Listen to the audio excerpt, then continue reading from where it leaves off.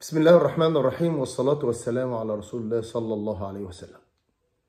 النهاردة هكلمكم على يعني حاجة غريبة جدا موجودة وبشكل غريب قوي قوي اللي إحنا بنتحايل على ميكالي المدير الفني المنتخب الأولمبي اللي هو يتعاقد معانا مرة تانية.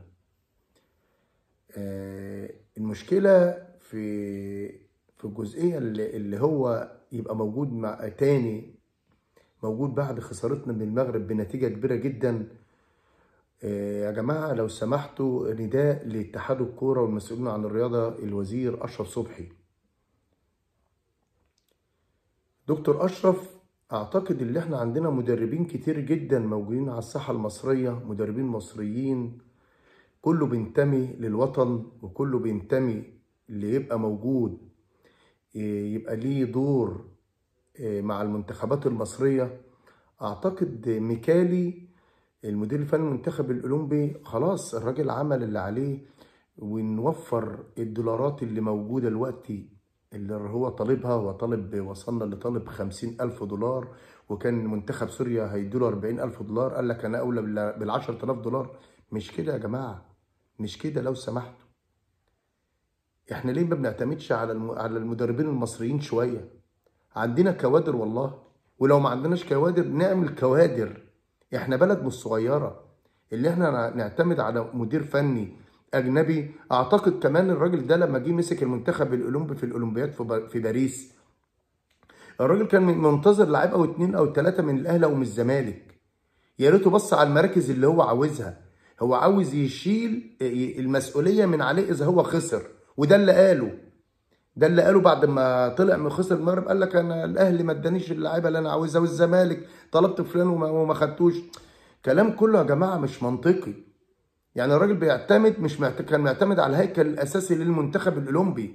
كان معتمد على اللاعب أو اتنين اللي هو كان موجود عايز إمام عاشور من الأهلي وطلبوا النادي الأهلي اعتذر لكن عايز مش عارف مين واعتذر. الكلام ده ما يعقلش. يا معالي الوزير لو سمحت لو سمحت عندنا كوادر كويسة والله. ناس مسكت أندية وعاملة نتائج كويسة مع مع الفرق. وفي مدربين مساعدين موجودين كويسين جدا وعندهم الخبرات سواء المحلية واشتغلوا كمان مع المنتخبات قبل كده. إحنا ليه بن... يعني إحنا بنتكلم في خمسين ألف دولار. نضرب في خمسين رقم كبير جدا. جدا. يعني مش هقول لك نوفر العملة وما نوفر لأ. بس أنا بقول لك إحنا المصريين أولى. إيه المشكلة؟ ما نبني أجيال سواء لعيب الكورة ونبني أجيال في التدريب ونبني أجيال في حاجات كتير جدا. ليه؟ ليه إحنا بنعتمد ما زلنا بنعتمد على الناس تيجي من بره ويا ريتهم بيفيدونا بحاجة ويا ريت بيدوروا الكورة بيفيدونا مفيش مدرب أجنبي لغاية الوقت جنه إلا إذا هو بيبص على اللي هو هياخد كام ويمشي. إحنا ما جبناش مدربين جامدين زي اللي بيجوا في الخليج. بيدفعوا أرقام عالية بس مقابل اللي إحنا بناخد منه شغل.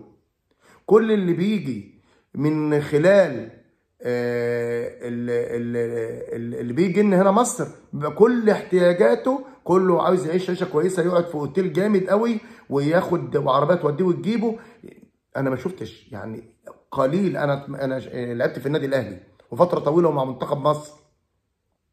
كل اللي نجحوا معانا وخاصة مع المنتخب مدربين مصريين. يعني أنا اتمرنت مع الكابتن محمود سعد وصلنا أولمبياد برشلونة. اتمرنت مع الكابتن محمود الجوهري فترة طويلة غير الأجيال اللي هو بتمرن معاه عملت عملت صرح. ليه نجيب المدرب الأجنبي؟ ليه ما يبقاش إحنا عندنا عقدة. كل ما أدخل على ال social media ألاقي إحنا بنتفاوض مع ميكالي بس اللي يعني يرضى عننا ويبقى موجود. هو عمل إيه؟ إيه اللي طوره في الكرة المصرية؟ إيه النتائج إحنا خسرنا من منتخب المغرب نتيجة المفروض يقال فيها. اقاله إقالة مدير فني. لكن نجيبه تاني وبرضه هو الجهاز هو هو واللي بيع... مش كده يا جماعة؟ لو سمحت لو سمحت. والله يا جماعة أنا بتكلم علشان في حاجات بتبقى الواحد بيتكلم فيها وهو بتحرق الدم. أرجو الوزير دكتور أشرف صبحي يتنق... يبقى في مناقشة تاني في حتة مين يمسك منتخب مصر الأولمبي. وأتمنى في المنتخبات التانية برضو دو دوروا شوية يا جماعة. ما لاقيش اتنين تلاتة أربع مدربين بي هم اللي بيدوروا حوالين المنتخبات. أرجو.